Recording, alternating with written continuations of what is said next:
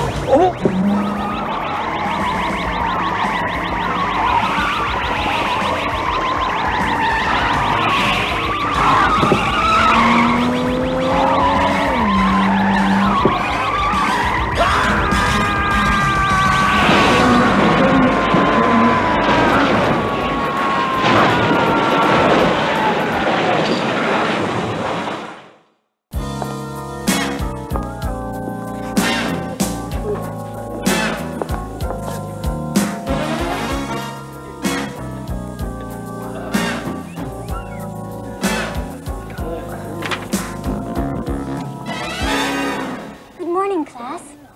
I'm Miss Xenobia, the new biology teacher. Now, I'm sure you're all concerned about Dr. Ackerman's condition. Word from the hospital is he's doing well. So, let's just pick up where he left off. Coitus, the biological function that is the subject for so many colorful euphemisms. All terms used to describe a simple act of nature. Following foreplay, penetration is achieved when the male's penis is thrust into the female's vagina, causing physical stimulation. What happens? Dirk? Going steady?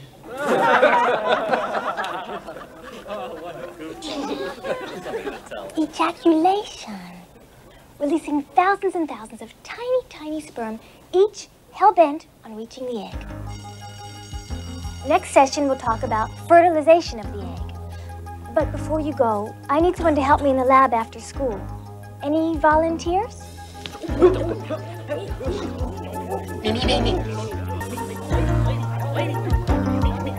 Of course, whoever's chosen will receive extra credit.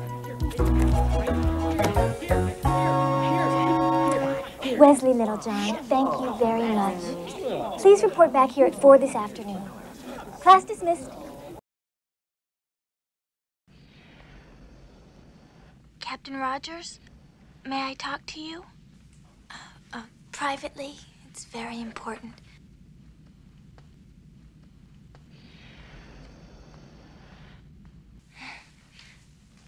Then hold me, just for a moment, please.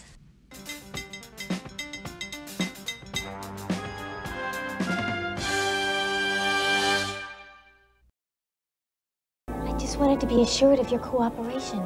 Isn't this a little uh, drastic? Not at all. Now drop your pants. Leanne? Leanne? Hello, Wesley.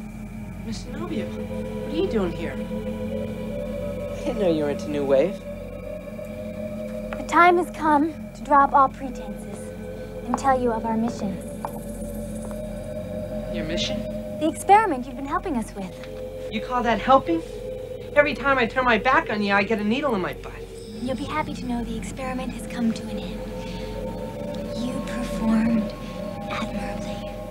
Oh, thanks, because let me tell you, I was getting tired of always being poked. Now you must go back with us for testing Go back. Where? to Altaria. You want me to go to Georgia? Altaria is the planet we hail from.